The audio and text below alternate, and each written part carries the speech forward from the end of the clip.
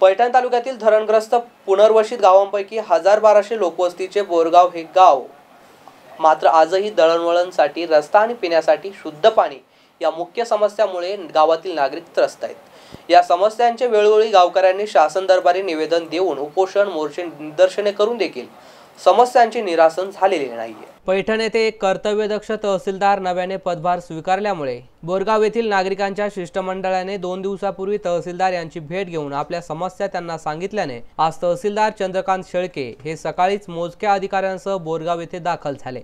गावात येताच अतिवृष्टीने नुकसान झालेल्या शेत शिवाराची पाहणी केली. त्यानंतर अडीच लाख रुपये खर्च करून देखील बंद असलेल्या फिल्टर प्लॅन्टची पाहणी केली आहे. यावेळी गावकऱ्यांनी आपल्या रस्त्याची दुरुस्ती आणि पिण्यासाठी शुद्ध पाणी या आपल्या समस्या मांडल्या. त्यानंतर आपले कुटुंब आपली जबाबदारी या अंतर्गत ज्येष्ठ नागरिकांचे वैद्यकीय अधिकारी यांनी थर्मामीटर आणि ऑक्सिमीटरने तपासणी करून कोरोना संदर्भात जनजागृती करून तहसीलदार शेळके यांनी येत्या काळात लवकरात लवकर आपल्या समस्या सोडवल्या जातील अशी ग्वाही दिली आहे. या कार्यक्रमासाठी वैद्यकीय अधिकारी अतुल बोरे तालुका महिला बाल कल्याण अधिकारी सुनील अंकुश तलाटी फटांगडे पवार कृषी सहाय्यक खुडे समीना शेख त्याचप्रमाणे सकाराम बोबडे साईनाथ अवधूत आप्पासाहेब शेळके गोरख बोबडे सुरेश अवधूत वासुदेव शेळके यांच्यासह नागरिक मोठ्या संख्येने उपस्थित होते. Satish Shrisundar M C N news Dhorke.